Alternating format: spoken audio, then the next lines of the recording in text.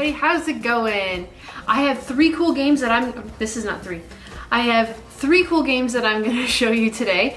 Um, and all you need to play is, uh, well, all you need to, to play is is a deck a deck of cards. So um, give, give me one second, all right?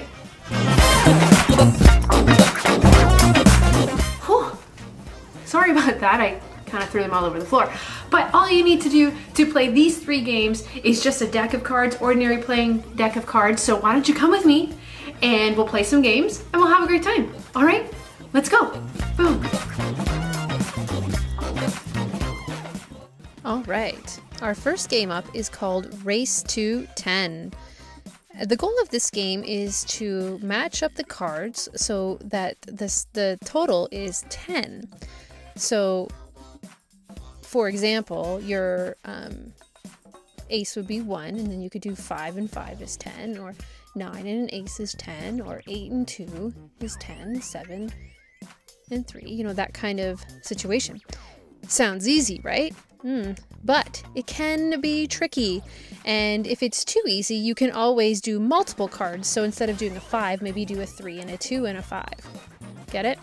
Um, so first of all, to set up, you want to take out all your face cards because we don't need those.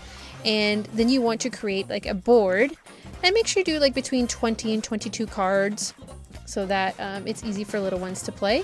And then once you're all set up, it's a race to see how fast you can clear the board. Good luck. Our next game is Bingo!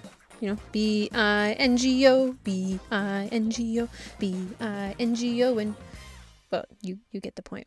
Um, so basically, here you're just setting your cards up in a 4 by 4 grid, so 4 across, 4 down, and your extra cards will go in um, a pile to the side, face down.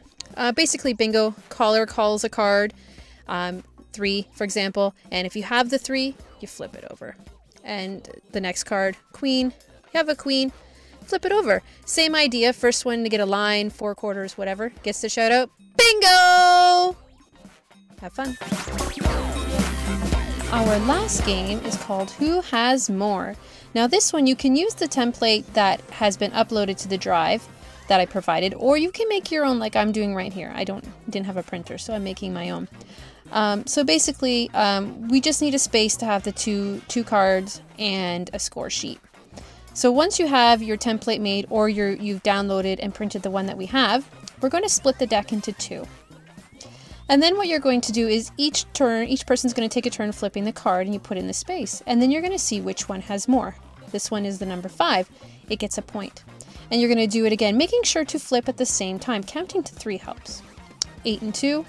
Which one is larger? Eight is larger, so eight would get a point. See, there's so many cool games that you can play with just one deck of cards. Those are just three examples, but there are so many more. Maybe you have your own game.